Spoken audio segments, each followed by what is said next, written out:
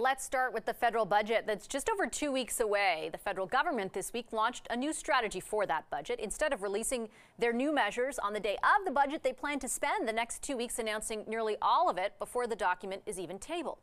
Earlier this month, Finance Minister Chrystia Freeland signaled the budget would focus on building a quote middle class life for the next generation.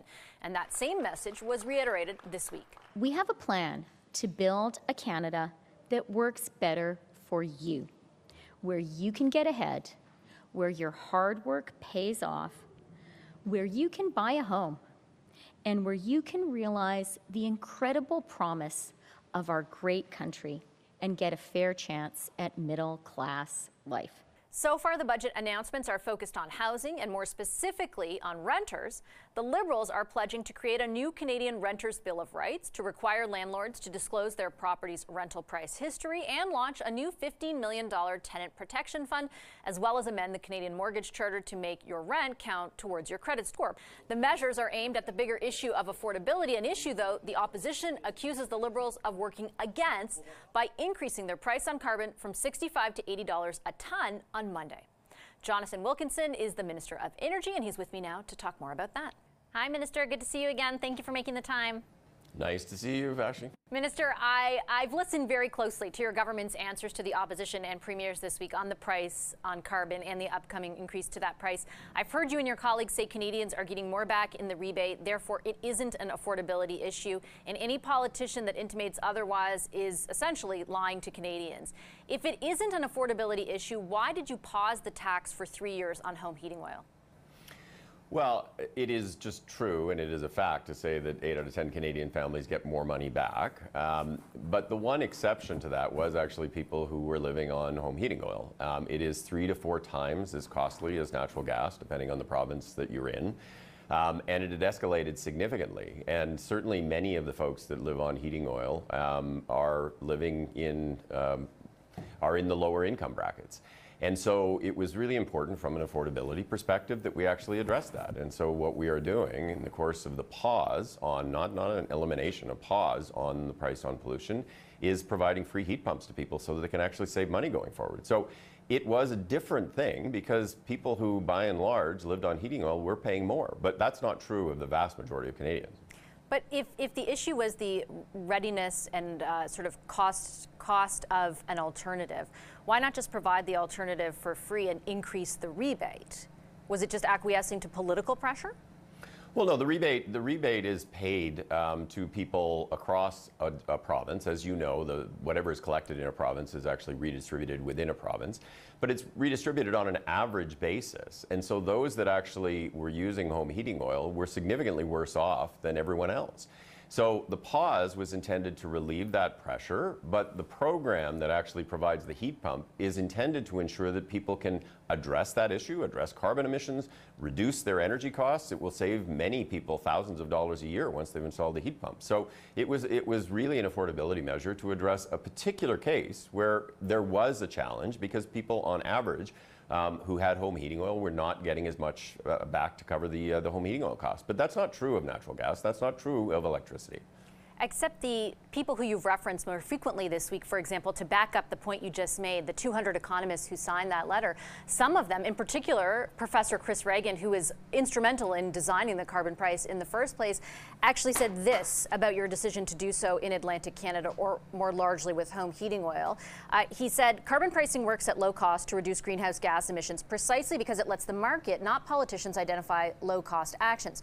When the federal government exempted home heating oil last fall, it weakened that principle and ignited a political firestorm.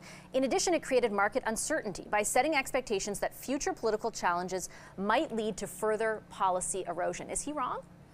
Well, I know Chris well, and uh, and certainly I agree with the first part of his statement, which is it, it, all the data shows, and the 200 economists confirm, it is by far the most efficient, lowest cost way to reduce carbon emissions. So if you actually believe in the science of climate change and you want to reduce carbon emissions in a manner that is the least costly for taxpayers, it is a price on pollution. I obviously don't agree with Chris with respect to the home heating oil um, pause because that was a very specific case. You know, we came out of COVID, there was high inflation, um, then interest rates went up to, in order to curb inflation. Affordability challenges became very, very acute. But, you know, go back to the beginning. Like, at, at the end of the day, people like Mr. Poilievre, who make the argument that the, the price on pollution creates affordability challenges and doesn't reduce carbon emissions, I mean, 200 economists who are experts in the field say that is completely false. And there is one political leader in this country who has never had a job outside of sitting in the House of Commons is saying, don't listen to the experts. So, you know, uh, who should people believe? Well, I think it's pretty clear who people should believe. But the genesis of my questions of you and of the government is not what Mr. Poilievre says. It's what the woman from New Brunswick sitting on the plane next to me a few days ago said in her worry about the degree to which the tax that your government is levying, she says, has disproportionately affected her. When you talk about, for example, the level of acuteness of the affordability crisis, what about small business owners, Indigenous people, and farmers? Three groups of people your government identified in 2019 as being disproportionately impacted. You were to save 10% of the revenue you took in from the carbon tax and redistribute it to those groups of people. 100 million of 2.5 billion dollars has thus far flowed from your government to those groups. What about the affordability issues they face? Well, uh, let me start by saying it is simply true that the vast majority of Canadians get more money back, and it works exactly inverse to income, so that it's the people that are most vulnerable get money back, get the most net money back.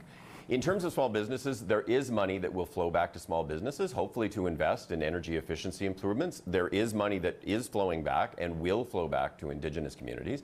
And that the same thing is true for, for the farming community. And in addition, with respect to the farming community, one of the things that is often not discussed is uh, at the very beginning of the design of the tax, a number of on-farm fuels were actually excluded from the price. So the farming community actually has its own exemption that was built into the price from the very beginning. You haven't made no investments in those three groups, but the First Nations from Ontario are taking you to court because they do feel that they are continually more disproportionately impacted by the carbon tax. And that doesn't answer the question about where the $2.4 billion that your government is sitting on has gone and if it will, in fact, flow to the three groups you identified, and if so, when. As I say, the commitment has always been that the money that's collected will flow back. Um, it will flow back in the near term. Um, at the end of the day, it is important that small businesses are uh, have an ability to address the uh, the issues associated with paying the price on pollution. That there is a rebate, and certainly those that have actually accumulated with respect to small business will be returned. When will that happen? What does near term mean, respectfully, Minister? Well, I, as I say, it will be over the coming months. Uh, I don't have a specific date, and uh, and certainly you are very welcome to ask that question to the Minister of Finance, who is the, the minister that is actually responsible for administering it.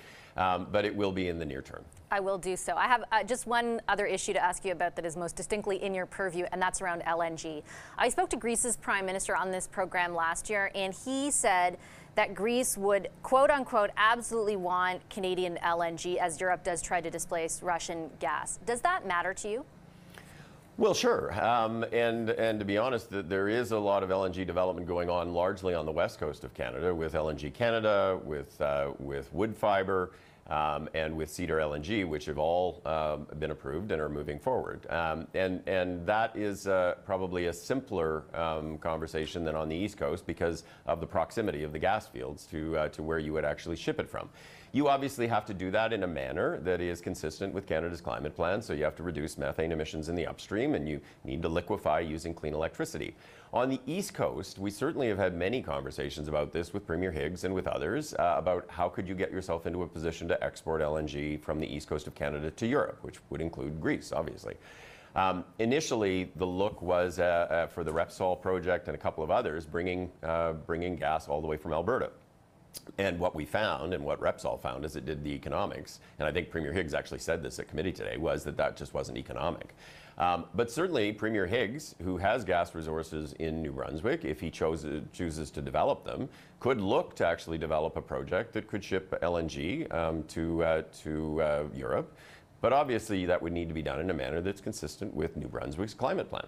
Yeah, on principle, I guess I'm trying to, to figure out exactly uh, where your government falls because there is a very live debate around whether or not you know, developing gas and exporting more of it helps get other places off more uh, emissions intensive resources, or whether it adds overall to emissions because of the way in which it's developed and the fact that it is gas and, and not a renewable um, a renewable resource. And so I'm wondering, like for example, the U.S. has decided to press pause on uh, developing export capacity because of the potential climate impacts.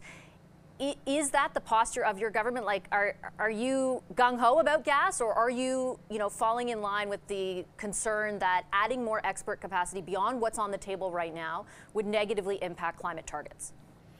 So, I mean, the pause in the United States is actually so they can assess how it fits mm-hmm. overall within the context of their commitments on climate. Um, we actually did that years ago. So the Americans are actually following in Canada's footsteps. And what we have said is you have to do a lot to reduce emissions of methane in the upstream, and we're bringing in place regulations to require 75% reductions.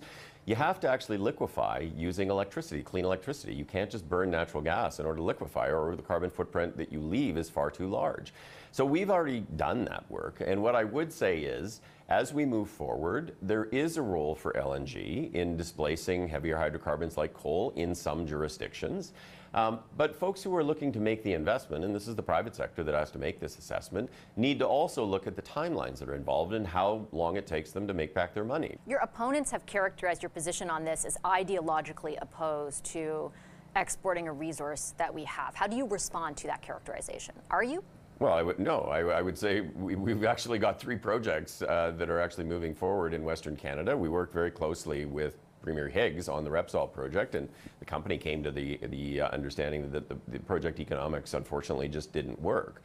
Um, but we also have a commitment to ensure that Canada is achieving its net zero goals, and so it's got to be within that frame. We support the work that can be done to displace heavier hydrocarbons, but it's got to be within a frame that actually fits with respect to the commitments we and others have made. Just one quick final question on what that support looks like.